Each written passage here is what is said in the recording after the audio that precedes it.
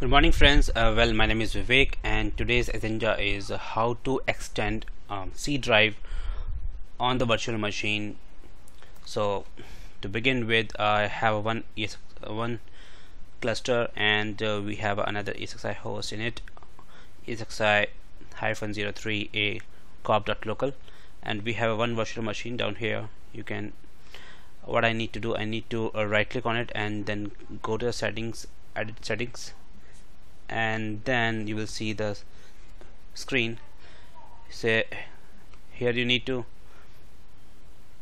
expand and uh, we have already assigned 20 GB what I required here I wanted to make it as a 25 GB so here is not something like that. If you have already assigned 20 GB here you don't need to type 5 altogether you need to you need to type here 25 so finally you will be getting a size of the disk is 25 GB the, if you have pressed by mistakenly 5 GB it will make it make it crash your virtual machine and your data will wipe up automatically.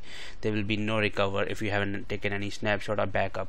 So take precautions while uh, extending extending the hard drive size.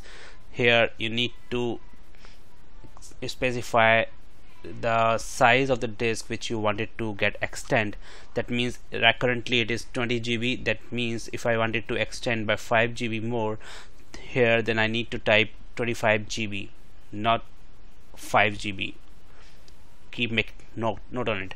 Right so let me type here 25 and then I will click on OK right so what it is happening here. Uh, I have already uh, opened the console on this on the server. I need to click on the control alt and del and then specify the password which is credential for this operating system.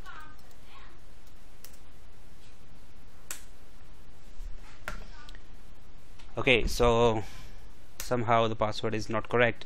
Let me re-enter password once again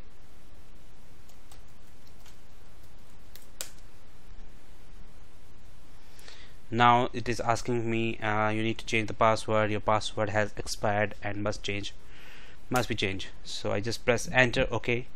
And I will be typing here a new password which is which is very new. And I need to make note on it on somewhere so I can keep remember all the time. So that's how password get changed on the operating system.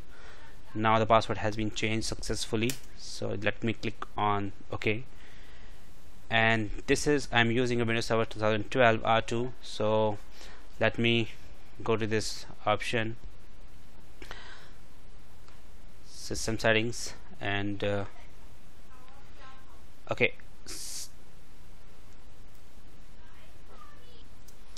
And now you need to type here disk management uh, disk mgmt.msc and then you click OK it's look like somehow I don't have access to this uh, local disk management uh, manager. So let me choose some other options to I, so I can show you. Let me go to the tools and then computer management. And let me come to the disk management option here. Oops. It's look like still I don't have access to the local disk manager. So all things what you require to to do here you need to extend the unpartitioned uh, or unallocated space to the C drive.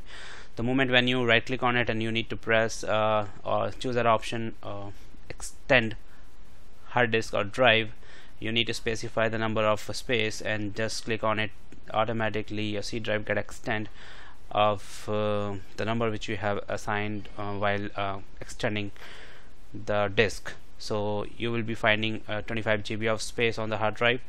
Currently uh, we can see here we have a 20 GB of drive. When you go to extend option and you will uh, select unallocated space on the disk management uh, extend the drive this will be altogether 25 GB of the space.